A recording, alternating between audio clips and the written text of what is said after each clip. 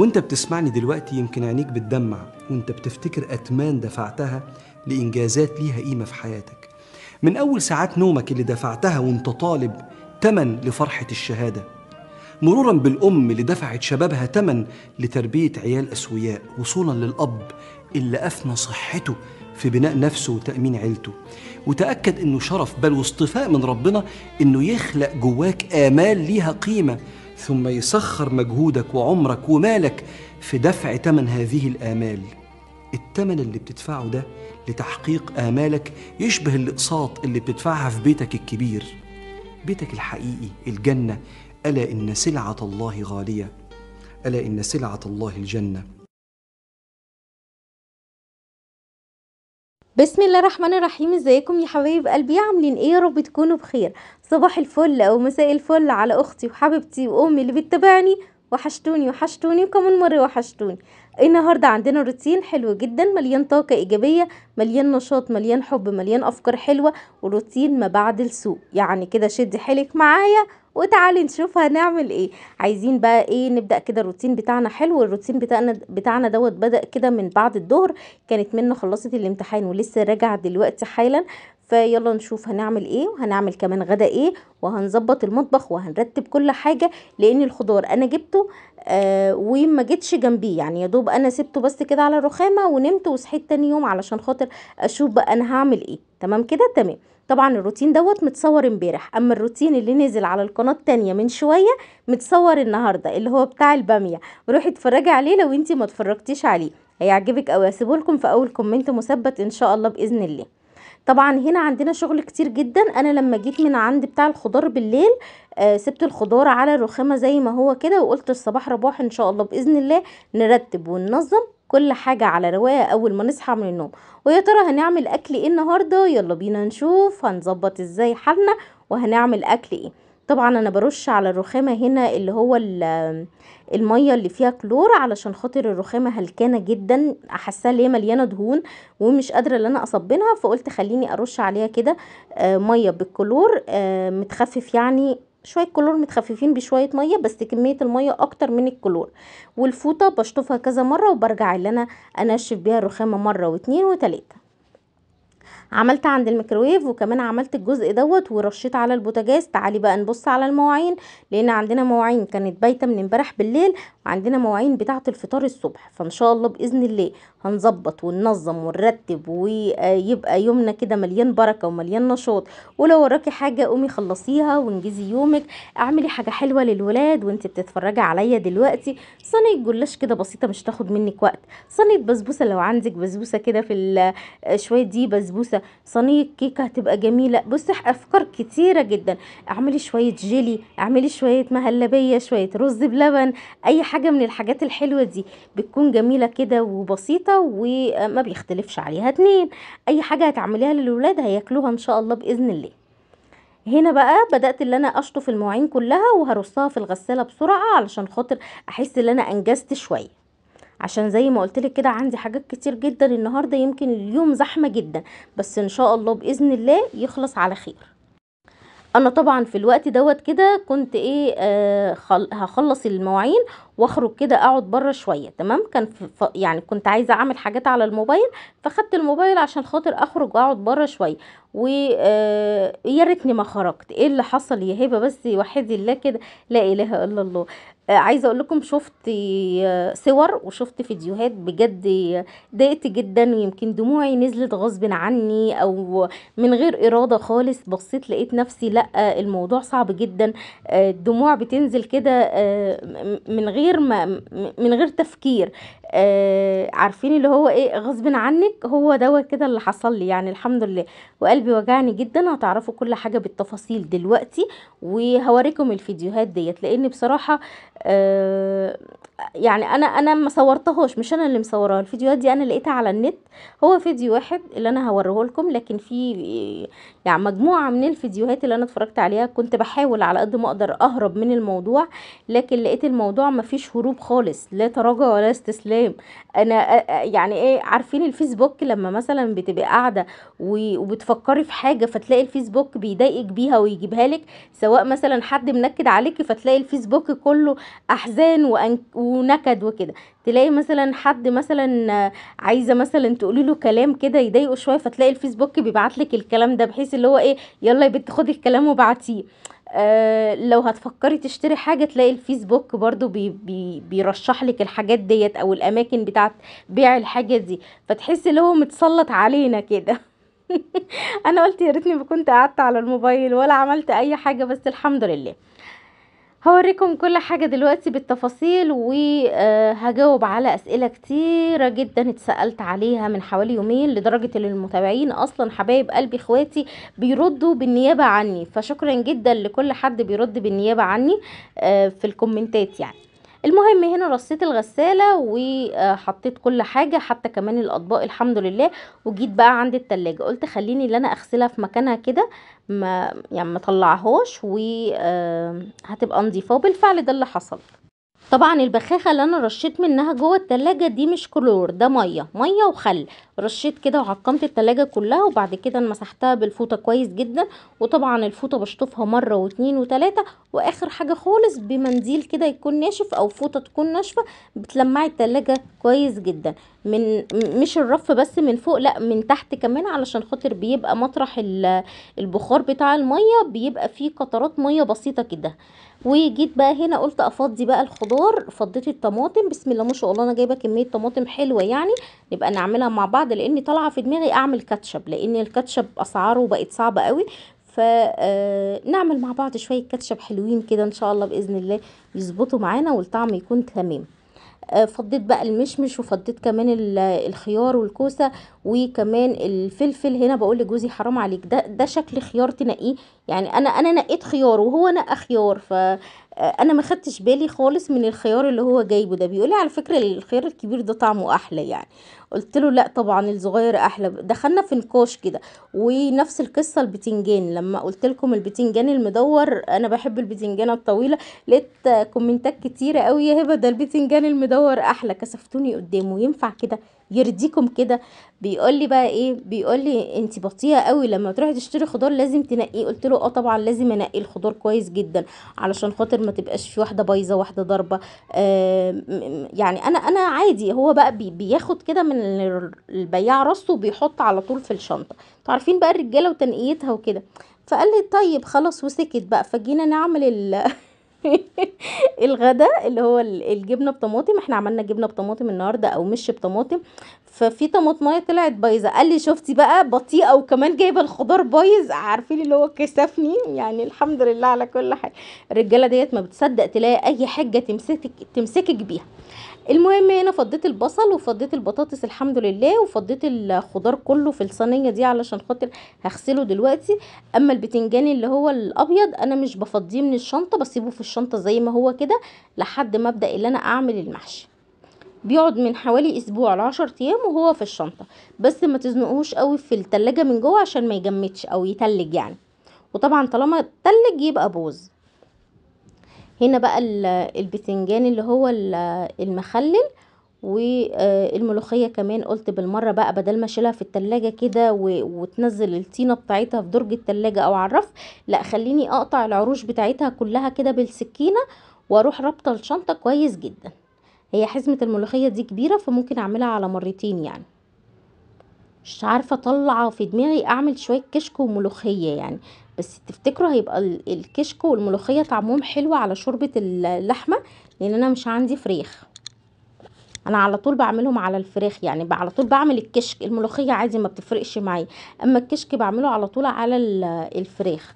فإن شاء الله بإذن الله نجرب شوية كشك كده حلوين على شوربة اللحم أو لو ما فيش شوربة عادي يعني مش هتفرق. الواحد دلوقتي بقى إيه ينجز حاله يعني ممكن مكعب مرقة أو شوية توابل وخلاص عملنا شوية شوربة في البيت. هنا بقى كان خلاص كده كنت غسلت الخضار وطبعا المشهد ده أنا مرضتش أحطه تماما لأن الموضوع هيبقى صعب جدا.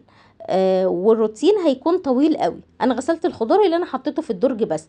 أما الطماطم أنا ما غسلتهاش لأن أنا مش هستخدمها دلوقتي. فقلت خليني أغسلها لما أجي اعملها ان شاء الله بإذن الله ممكن بالليل أو بكرة على حسب بقى كده هقدر ولا لأ. رجعت كل حاجة مكانها وكمان حطيت العلب اللي في التلاجة دي فيها جبن وكده بقت التلاجة بقت معايا مية فل وعشرة. جينا بقى هنا علشان خاطر بقى اعمل إيه؟ اعمل ال- البامية. قلت هغسلها علشان خاطر بكرة الصبح ان شاء الله بإذن الله أروح اعملها على طول. وبالفعل ده اللي حصل يعني.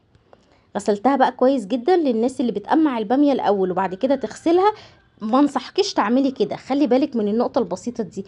آه هتدخلي كل التراب وكل الحاجات اللي جواها مطرح ما انت هتقمعيها. لكن لما تغسليها الأول مش تاخد منك وقت خالص وبعد كده تسيبيها تتهوى وتقمعيها براحتك بقى.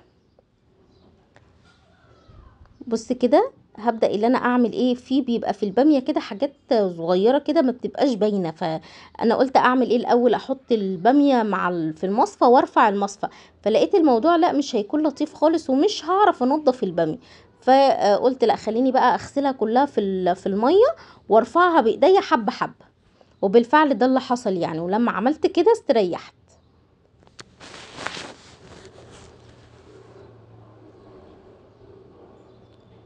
طبعا كل مرة بتغسليها بتنزل مية لونها مختلف تماما وتحسي كده اللي هي محتاجة تتغسل مرة واتنين وتلاتة.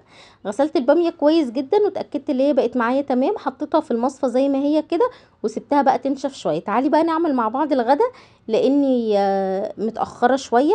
لما منا جت كنا لسه بنفطر.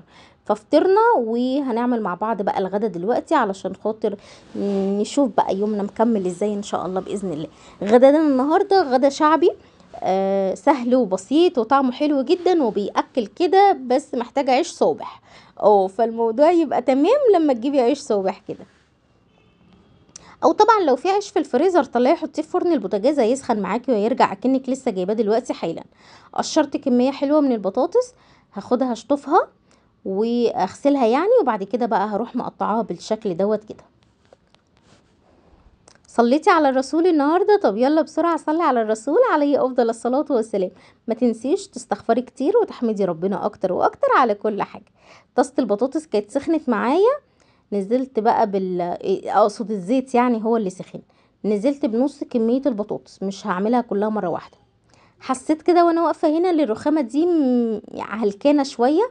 فقلت خليني اللي أنا أنضفها مع إني كنت منضفاها الصبح بس مطرح بقى تنظيف الخضار وترتيبه وكمان خرجت الحاجة من التلاجة ورجعت شلتها تاني فحسيت إن الرخامة هلكت شوية.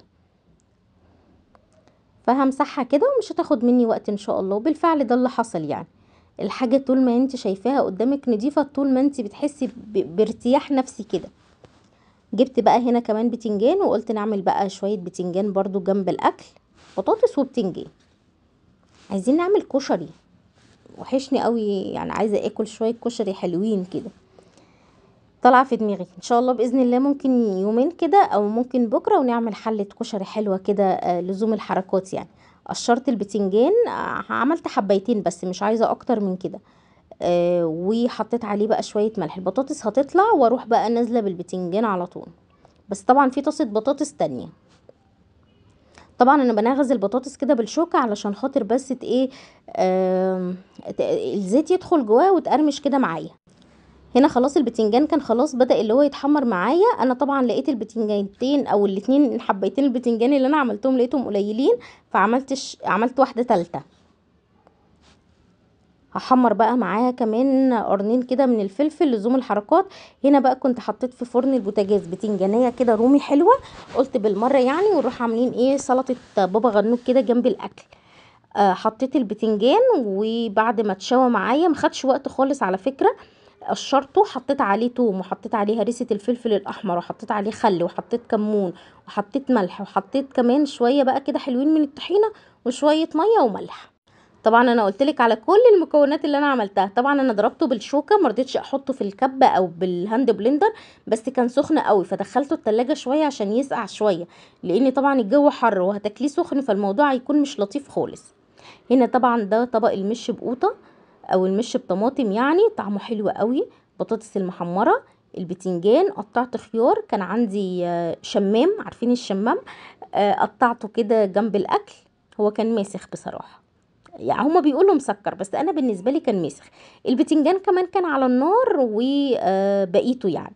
بس كده خلاص ربنا يديمها علينا نعمة. اللهم آمين يا رب العالمين. يلا بينا نغسل المواعين بقى اللي طلعت من الغدا ونشوف هنكمل بقية الروتين بتاعنا ده إزاي.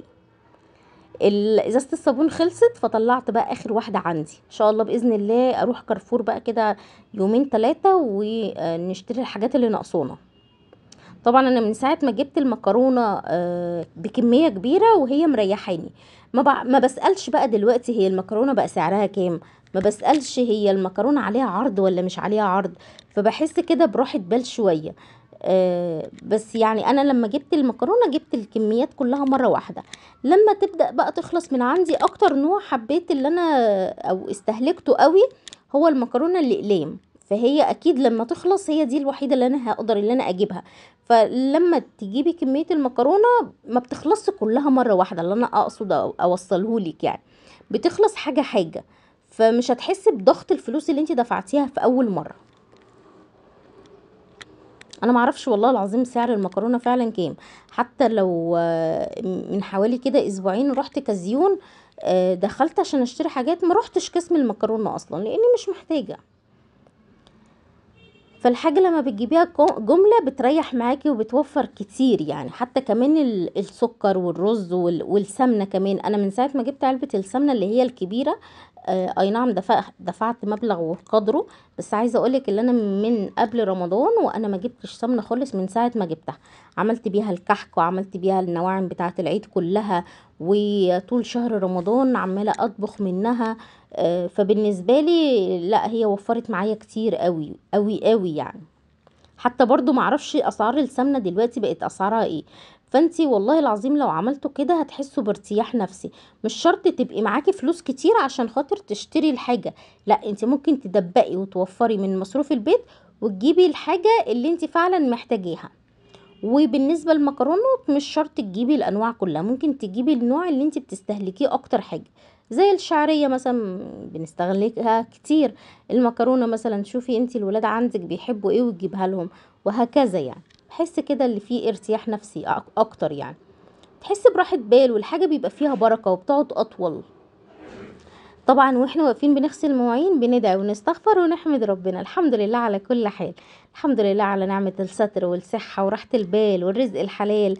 آه خلي دايما على طول وطول الوقت لسانك كده بذكر الله. بجد هتحسي كده بارتياح نفسي من جواك. طول ما أنت قاعدة فاضية أو قاعدة سرحانة سبحي مش شرط يبقى قدامك سبحة أو في ايديكي سبحة لأ سبحي على صوابعك. هتحسي كده اللي انت آه عملتي إنجاز حسيتي كده في من جواكي في طمأنينة كده بينك وبين ربنا. آه احمدي ربنا مية مرة في اليوم استغفري مية مرة.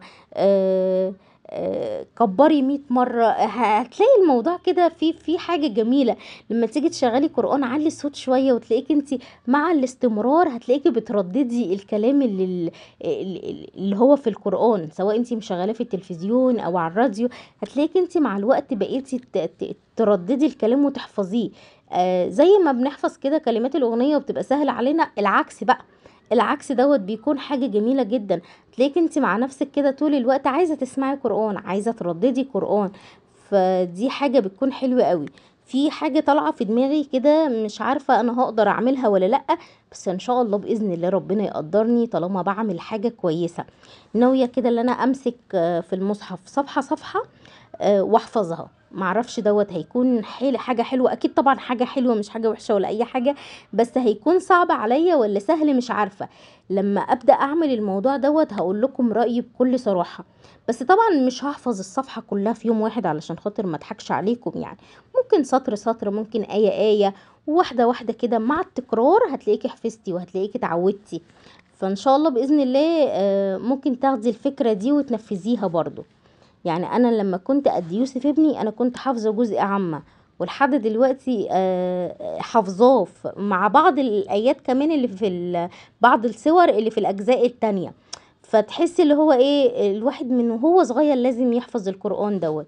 فمع بقى الأحداث اللي حصلت الكتيرة السنين اللي فاتت ديت آه، معرفتش أحفظ حاجة. يعني معرفتش فإن شاء الله بإذن الله تتعوض. يعني بما إن يعني آه، فينا انفاس يعني وكده نقدر نعمل كل حاجة الحمد لله.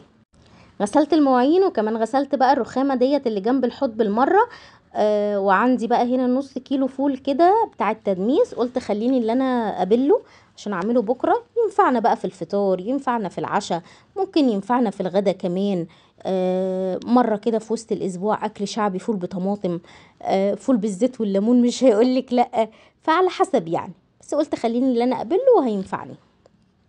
كمان هنا عندي شوية كده من الكركديه آه رحت نقعتهم في شوية مية بعد ما شطفتهم. عشان أنتوا عارفين بقى الجو حر والكلام دوت آه لازم يكون في عصاير أو في حاجة في التلاجة. أنا بالنسبة لي البيبسي آه بصراحة دلوقتي بقى آه يعني إيه الإزازة ما بتقعدش. آه، لو كل واحد صب كوباية فما بتقعدش. فمحتاج ميزانية تانية خالص. فقلت لا خلينا في الحاجة اللي إيه المضمونة. بس لو في حد عنده ضغط فأنا ما انصحش بالكركديه يعني. أو تقريبا الساقع بيعلي الضغط السخن بيوطي. أنا مش مش عارفة التفاصيل قوي بصراحة. بس في عصاير تانية كتير بديل الكركديه. الكركديه. أيوه كده. في طبعا العصاير الفريش اللي موجودة دلوقتي الفاكهة نازلة حلوة قوي. أي نعم سعرها عالي شوية بس فاكهة الصيف بتكون ممتازة. هنا بقى كنت بعت يوسف جاب لي لبن وقلت اغليه بالمرة بما إن يعني اتغدينا وظبطنا المطبخ والدنيا بقت تمام والحمد لله. هي دي بقى الصور اللي وجعت قلبي. شايفين بقى ده كده البيت القديم. أنا حبيت ان أنا أحط لكم الصور عشان تشوفوا كل حاجة لأني في comment جالي من حوالي يومين كده بتقول لي هبة يا ريت تروحي وتصوري لنا البيت القديم لأني وحشني. البيت القديم ما بقاش موجود خلاص. آه، يمكن لما شفت الفيديو شفت الصور قلبي وجعني. ما كنتش حاسة الإحساس دوت يعني. الصور اللي أنا عاملة لكم عليها دايرة اللي أنتوا شفتوها من شوية ده كان الحمام وأوضة النوم. يعني هو الونش دلوقتي أو البتاع اللي هو بي- بيهد دوت ده كده دي أوضة النوم. يعني الحتة اللي هو بيهدها دي دي أوضة النوم. كان لونها بامبا وكان فيها بلكونة بتبص على الحارة غير البلكونة اللي كانت بتبص على الشارع العمومي. السيراميك اللي لونه أزرق في لبني ده ده كان السيراميك بتاع الحمام. فالحمد لله على كل حال الحمد لله. آه قلبي وجعني قوي ودموعي نزلت تلقائيا لوحدي كده. بس برضو وارجع أقول الحمد لله الحمد لله على كل حال. آه لو كان راجع بيا الزمن كنت هتوافقي هبة تاخدي فلوس والبيت يتهد. لا ما كنتش هوافق يعني. آه أنا محتاجة الفلوس مش هضحك عليكم بس ما كنتش هوافق.